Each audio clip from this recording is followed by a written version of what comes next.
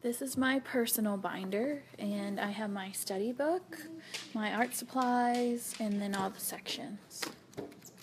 And then what happens is you have your Bible, and you stick the front cover into the front pocket of the Bible binder, and then you can close it. And then after you've put your Bible and everything in there and closed it, you use the new Bible binder bow band to secure everything.